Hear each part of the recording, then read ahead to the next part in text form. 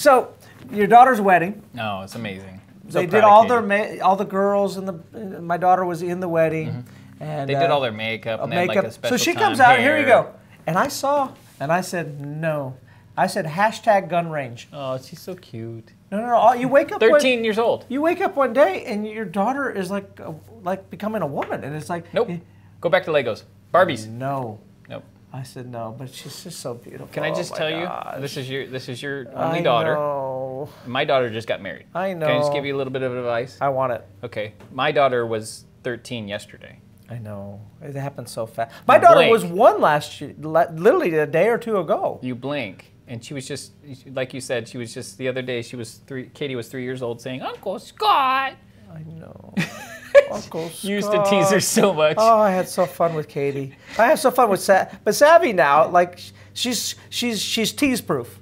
The boys and me have teased her so much. Like she's just No, epic. she is- she she's is she's epic at being teased now. Yeah. Like we were teasing her at, at, at IHOP yesterday. The other, she's so funny because she orders. She's like, um, I would like to have the chicken and waffles, uh, but instead of waffles, can I have eggs?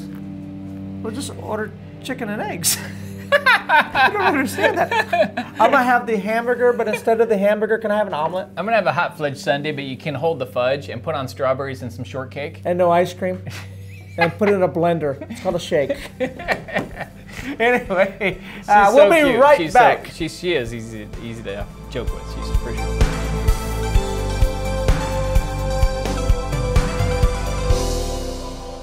Good morning. Welcome to Wake Up. Where we wake up. I'm Pastor Scott. Pastor Jason, it's good to have you with us today. Monday. Yep. They're looking so good. What did they do with new subscriber? Uh, type in where you're from. We like to read that on Wednesdays, and uh, don't forget to share. And Share. like, like, like, like, like. Bologna sandwich it today. Yep. As we're talking about still, we're talking about love. We are. We've And- we've gone through one week, and we're continuing on. Today on love. Because today. here's the thing. How, how much is it in the Bible? Like it's God is love. love, right? And he command Jesus gave us a command. He says, "Let me give you a commandment. Mm-hmm. Make sure that you, you know, uh, blah blah blah blah blah blah." blah. No, no, no. He's just like love. Yes, there's that, yeah, exactly. And so uh, today we're going to be reading in uh, Ephesians chapter six and verse twelve. Oh, this is Um, good. and and it's not not something you could type in the word love as a search term, but it gives you it really helps you I think in your strategy and how to deal with people. and that's what we're doing right now Because the love part is meant for who, for people. right? Love one another. love one another. Well, they're hard to love. Exactly, and that's why he had to really beat us up. Really, and that's you know even raising your kids. The goal for me, one of the big goals, is for them to learn to love each other, Yeah. and that's a that's a that's a battle. Yeah. Because you know they knocked over my Legos, and they're watching the show I don't want to watch. They're touching me. They took why my are they stuff touching while me? you're touching me. Here, smell this. That's what my brother used to do to me all the time. Here, smell this. Listen, if I love the game, If you're a younger sibling, I'm going to save you a lot of pain right now. Never smell this and never touch this, whatever it is. Here, smell this. Remember the pepper? Oh, Here, my smell this. brother. Well, that's Looney Tunes' fault. I love Looney Tunes, but if you blow pepper in somebody's face, they're supposed to sneeze. They're not supposed to get it in their eyeballs and burn their eyes. I was the first to experience what what was now called pepper spray, but it was actually invented pepper It was the organic version. No, no. When you realize I filled my hand full of pepper, it was it was a half, and I went, Jason. He's like, what? He's always so cute. And went, oh, and it just blew pepper into his eyeballs. You know how like you really don't remember things from when you were three, except for maybe a couple of key moments. that one? That's one of them. I actually remember being three years old, and, and there's a, uh, if you're wondering what that noise is, we apologize. They're mowing the lawn. they're, they're taking care of God's house. Thank They you. are. Okay, so But I remember that moment says- too because Dad was not very pleasant. no. Right. Because let's just You say were in a lot let's say trouble. this: love is discipline. Yes. And he loved the hell out of me. he did, and you needed the hell loved out of you. Ephesians chapter 6 and verse 12. For our struggle is not against flesh and blood. So this is not my battle. That, and I'm sorry, I'm going to stop. I, I mean, he goes on to say what your struggle is against. It's against the unseen forces. It's the things underneath all It's about things. I your mean, thoughts and my thoughts towards you. It wasn't what Eve did. It was the, the serpent in the tree deceiving her. Right. So, so yeah, there was repercussions for what she did, but it was the serpent, and the, that was the real fight. The real battle was the things that are happening in the unseen world, and the fears that people are dealing with. It's it's the the things and I- people have issues, They do. and hurting people hurt eat people. Right. I've said that before, and so he says this: stop fighting people. Wow. Right? Your struggle isn't with the With- guy at work. It's not. You think it's with the guy at work, but it isn't with the guy at work. It's what it's what his childhood was. It's what things impacted him. It's it's the It's what he's going through. it's what he's going through. There's so many times that we don't realize, well, she's a blah, blah, blah at the office, and you didn't realize that her mom has cancer. Her mom is going through, right? She, maybe she just had a death in the family. So what we do is we just assume they're, they're a jerk, not realizing and giving them the same compassion that God gives to us, that in the midst of your mess, you have a mess. You're, you're acting like a mess because you're in a mess. And what is my job? To make you a bigger mess? No, my job is to help you through your mess, to love you in spite of your mess, to give you patience, to give you encouragement, to build you up, to love those that hate you, to say kind things to those that don't say kind things to you. It's crazy that as you begin to love them, all of a sudden the mess doesn't become a mess. And and Jesus loved the world that way, didn't he? He did. He, he was demonstrating for us. So here's the thing we have to know about Jesus is he, he was discerning like he discerned stuff. Like he knew Right. what was going on in the unseen places, right? And so as he's healing people and loving people and feeding thousands of people, here's what he knew for sure. These same people that I'm loving are going to crucify me one day. Right. They're going to demand that I die. Right. And so look at this kind of love because see our high priest he walked in our shoes. He lived the suffering that we live in a worse capacity than us because he died an undeserving death. Right. He was falsely accused. And that's the, one of the worst feelings when you get falsely accused. And then, how, but that's yes, that's what that's the worst. Well, I didn't do it. They're doing it, and they treated me. And he was he was. Did Jesus get what he deserved? no, he got what we deserved. Right. He Yet- took what we deserved. my question to you is our on the, pain, our sickness. On the cross, was he angry with them? Was he talking bad about them? He should have been. Should have been. I would have been. Yeah. But what come did he down do? off that cross and save yourself. I'll come down off. Yeah, I'll, okay. I'll show you right now. Didn't you want to just come down for a second? remember, remember what Elijah did? Just if I'm a man of God, may fire fall from heaven and consume you and your 50 men. That's what that's, what I probably have done. But Jesus says, Father, forgive them. Mm. They know not what they do. Uh, what a powerful thing. And that we're called to forgive as Christ has forgiven. So what was he doing? He was not fighting people. No, he was, He was forgiving people. he was loving He was loving people. He was laying down him, and that's what he said. He said, "No love as I've loved you," and then he said, "No greater love hath any man than he lay his life down for another." And Steve said something really good uh, last weekend about forgiveness. I, I, I liked it a lot. Because we're always wanting them to get what they deserve, and we're also think they need to earn their forgiveness. But that's what forgiveness is. Forgiveness is is that you did wrong. You don't deserve forgiveness. It wouldn't be forgiveness if you deserved it. Well, and, and it's true. We want somebody. Somebody's got to pay. We always want somebody to pay. Somebody's got to pay.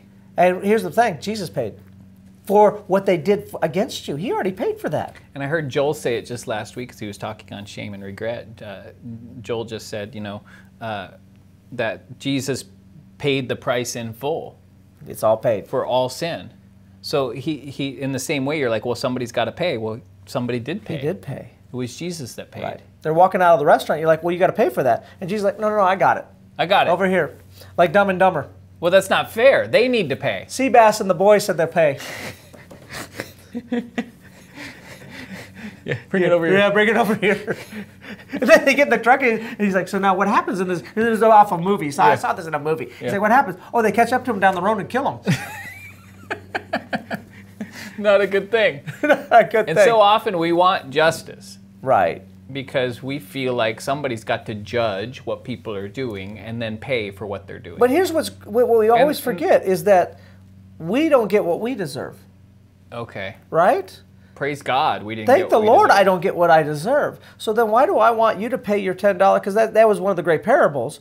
You owe me $10, give me my $10, I throw you in jail. Mm-hmm. But then the, the, the, the ruler goes, yeah, but you owed me $16 million and I, I washed that away. Why are you holding him when uh, Jesus, I forgave you. I and, forgave and so get this picture with the, the parable you just brought up is that he was forgiven first. Right. And so we also were forgiven first, first. so that we might draw from a well of forgiveness. Thank you, Jason. I was forgiven first, so now I'm going to forgive. Right. I'm gonna I'm gonna pass the gravy, he said. Don't drown in the gravy. You gotta pass the gravy. Now, how long are you allowed to hold on to your anger, though? Because there is a time limit. Oh, till the end of the night, you can do that. Like if you want, like if you just want to be so mad, you wanna like, be mad. He's you know like- what? I'm not gonna let it go. I'm not gonna let it go. Yeah, yeah. I'm gonna hold. it. They don't deserve. And And God says, let's put a timer on it though. I tell you what, when the sun goes down, don't let the sun go down on your anger. It's almost like God said, all right, get, just let him have it. for Because there's because there's new mercy tomorrow, mercy. and you'll need the new mercy tomorrow for the new set of things you have to forgive. Thank you. So you had mercy for today. Use the mercy you got for today on that, That thing. thing. Have, then- uh, which God gave you Does mercy. that feel good to start what over? mercy is? Mercy is when you don't get what you deserved, Right. right? Grace is I'm blessed even though I haven't done anything to be blessed. But mercy, Mercy is, is- I don't get the punishment and the wrath that I have coming. Right. And that's what we need to be full of grace and mercy for people in Yeah. our world. Yeah. Make sure that we love them. Well, I, I, it's not fair. I know it's not fair. But don't fight with them. That's the key. That- Just look at the scripture. Just look at the Just scripture. don't fight with people. Just don't fight with people. Let it go.